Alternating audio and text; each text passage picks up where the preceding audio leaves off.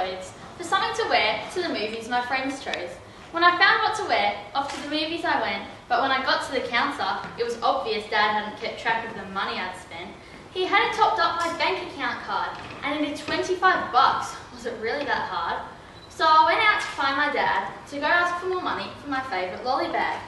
Then I suddenly froze. I noticed a man who was blowing his nose. This man had hair on his head and his face. Where he was standing, he did not look out of place. He was hunched behind a wall, staying dry from the rain that bucketed down on the streets, the buildings, and drizzled down the drain. This man was homeless. I'd seen him before. Sat with a sign saying, Help me, I'm poor. Imagine waking up in a strange place every single day. It could be a park bench, it could be a shelter, it could even be under a bridge. Imagine the thought of not knowing where you will end up by the end of the day, but the thought that once again you will be living off minimal amounts of staple food. Imagine if I told you that tens of thousands of Australians are homeless with little or no money. Is it the truth? Approximately 150,000 people are homeless in Australia. Homeless, meaning they don't have their own home to go to every night, typically living on the streets. 80% of homeless families who ask for help are turned away, as are about one in three teenagers. Even though you may not understand how prevalent homelessness and poverty is in our society, it is a very honest issue.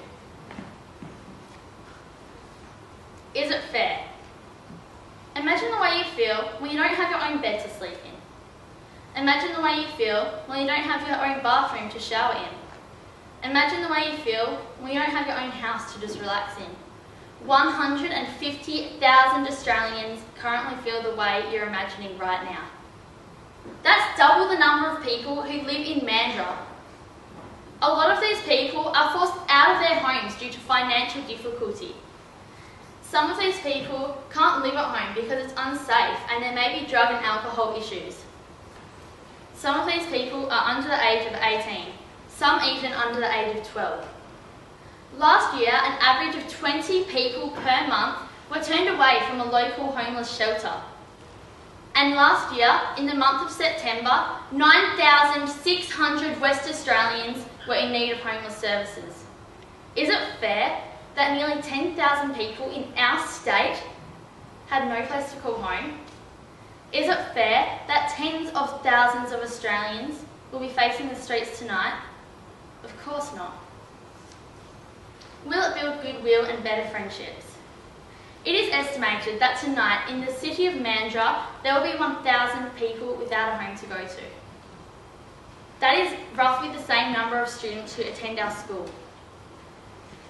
Imagine if we could provide support to a struggling, desperate single mother.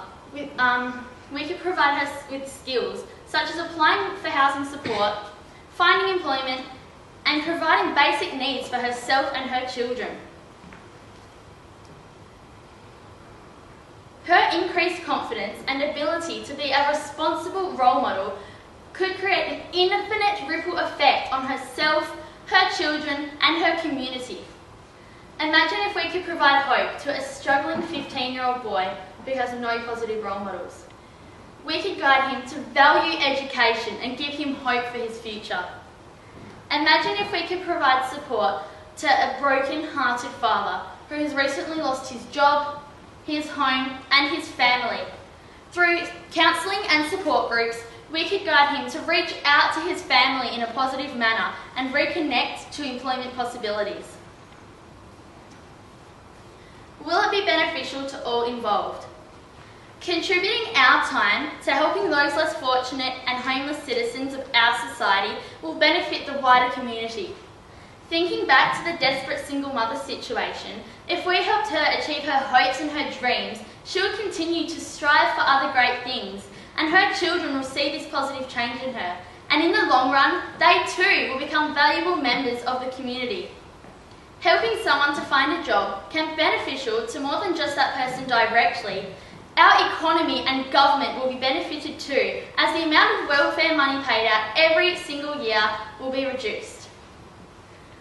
I want you all to understand the significance of homelessness and poverty in our society. It could happen to any one of us when we least expect it. People just like you and me, whose circumstances all of a sudden take a negative turn, could be taken down the path of homelessness and poverty. As individuals, there is so much we can do. Rotary International, Mission Australia, churches, and the government all currently help, but there is so much we can still do. So today, let's take a stand and begin volunteering, be it time, be it money, be it services. Let's stop the growing issue of homelessness and poverty in our country.